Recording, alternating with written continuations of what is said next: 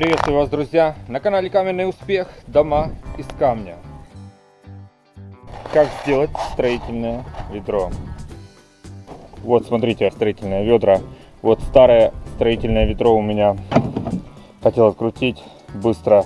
Не получилось, но ничего. Мы попробуем сейчас сделать строительное ведро, чтобы вы посмотрели, чтобы это было быстро, качественно и хорошо. Еще мы их делаем. Вот старые стулья. Их полно можно найти. И вот э, на них хорошее дерево можно с них делать. Хорошие ручки. Поэтому я их использую. Нам необходима ножовка, там метр, карандаш, все по мелочам, короче. Вот такую канистру. Ее можно найти легко на помойке. Обрезали вот по под самый край. Обрезали, обрезали, обрезали, обрезали. И потом простой хозяйств, хозяйский шуруповерт. Сверлите ды- дырочки, отверстия и закручиваете, закручиваете болты. Вы сами сейчас увидите, как просто можно делать строительные ведра. У меня на- наброска есть сейчас на ведро. Я его просто померяю, сколько у меня. Так, 29. Сколько у нас здесь? 29. Отлично.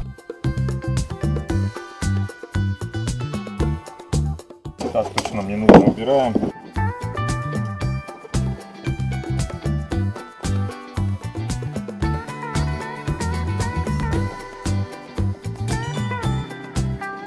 На ютубе есть э, видео, которое я уже показывал, объяснял о ведре, как необходимо поднимать, как необходимо с ним работать. Вы можете посмотреть, насколько же это удобно.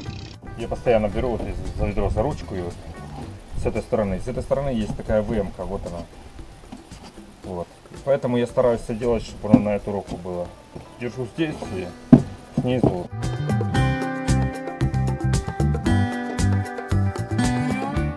Это все делается в кустарных условиях. Вы можете делать хоть чего.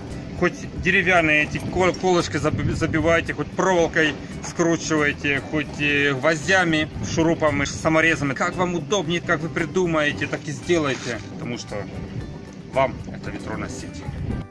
Сейчас мы ее закручиваем. Самое главное, чтобы была планка внутри, планка наружу, чтобы удобно было взять. Все, вот, вот оно, готовое ведро. Вот какие аккуратненькие, красивенькие ведра получаются. Я когда приехал э, в Грецию, не знал, как к ним подступиться. Думаю, это же, наверное, неудобно. Его можно так взять, нести, неси как простое ведро. Его можно вот так взять и поднять на колено. Вот. По той же ноге. Раз подняли, поставили и пошли. Я его могу раз немножко выше поднять, как бы на живот. И завести руку под низ. У меня есть да, за что браться. Вот, вот.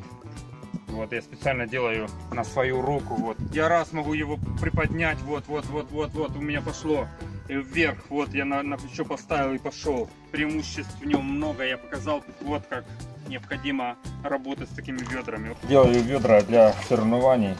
Ребята будут таскать, поднимать на плечо и опускать. Кто сколько подымет. Интересно. Я думаю, что мы поучаствуем в этом деле.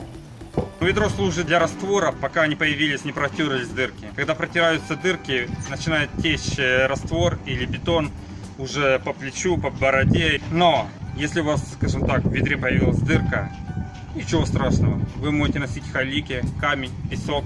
Вы можете найти применение всегда этому ведру, пока оно полностью не сломается. Оно может и год служить, и два.